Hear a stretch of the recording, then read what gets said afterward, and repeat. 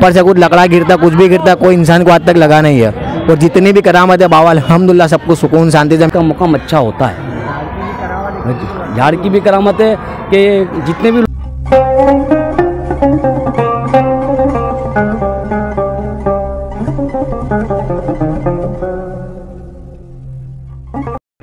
अस्सलाम वालेकुम नादरीन तो खैर मकदम है आप सभी का मेरे अपने दिल गुलजार वली में। तो इस हर बार की तरह इस बार मैं आपको लेकर आया हूँ मेरा मुकदस शहर वलियों का शहर जहाँ पर चप्पे चप्पे पर वलियों का मज़ार है। जी हाँ, मैं बात कर रहा हूँ सैयद लतीफ़ शाह रहमत की। मैं आपके बरगह के अंदर खड़ा हूँ और आपका उर्स का मौका चल रहा है। तो इसी वीडियो के अंदर अब आप सरकार का उर्स मुबारक संदल मुबारक और जो कुछ भी यहाँ पर आशिक वली अल्लाह, जो भी धूमधाम से आप सरकार का उर्स संदल मनाते हैं तो इस वीडियो में आपको पेश करूँगा। तो वीडियो में एंड तक बने रहे और वीडियो को पूरा देखें। आप सरकार का उर्स मुबारक शाबान की चाँद रात के अंदर आता है तो आप लेंगे तो वीडियो पर एंड तक बने रहे और वीडियो को पूरा देखें। अस्सलाम वालेकुम।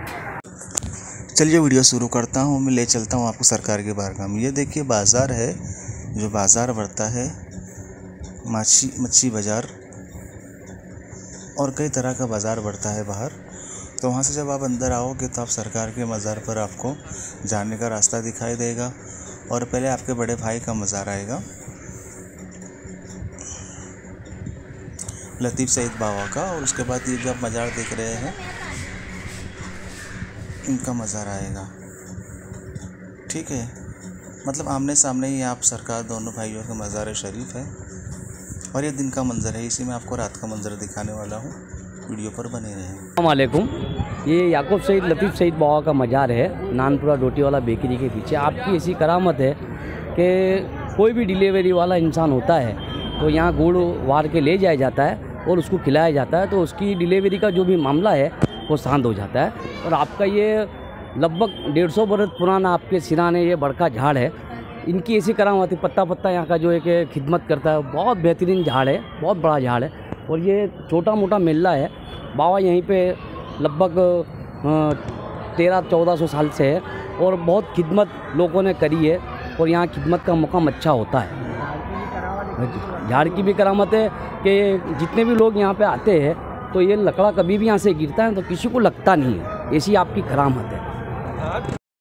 अस्सलाम वालेकुम वरहमतुल्लाह बरकात वजह सैद, लतीफ़ सईद बाबा जैसे याकूब सैद बाबा। सरकार की इतनी करामत है हमारे ऊपर, कभी भी कोई मुसीबत भला आती है तो हम सरकार से दुआ मांगते हैं। अल्हम्दुलिल्लाह, इतना काम होता है हमारा कि काम सक्सेस ही हो जाता है। और ये झाड़ है, लगभग साढ़े तीन सौ, चार सौ साल पुराना है, हम लोग को भी पता नहीं बट हमारे घर वाले बोलते तो हमारे को पता है। यहाँ ऊपर से कुछ लकड़ा गिरता, कुछ भी गिरता, कोई इंसान को आज तक लगा नहीं है। और जितनी भी करामत है बाबा अल्हम्दुलिल्लाह सबको सुकून शांति से मिल रहा हमारा छोटा है। सब अल्हम्दुलिल्लाह छोटा सा मिल रहा है। हमारे कोई तकलीफ़ नहीं है। दोनों सरकार के करम से हमारे को बहुत सुकून है। सुकून बोलते तो बहुत ही सुकून है। अस्सलाम वालेकुम। चलिए बढ़ता हूँ उर्श पाक के अंदर। ये आप सरकार के रात का उर्श पाक का मंज़र है। मगरिब की नमाज़ के बाद आप सरकार की बारगाह में संदल वगैरह पेश किया जाता है।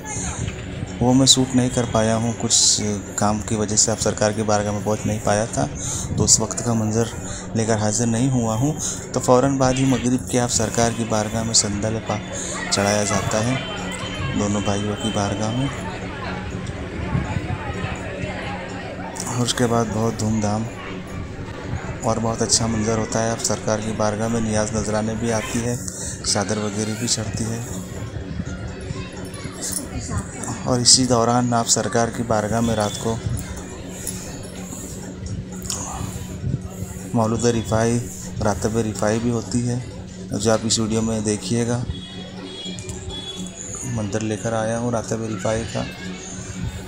तो देखिए कितना मुसलसल दो रोज़ तक मेला लगता है मेले जैसा लगता है मेरे सरकार की बारगाह में।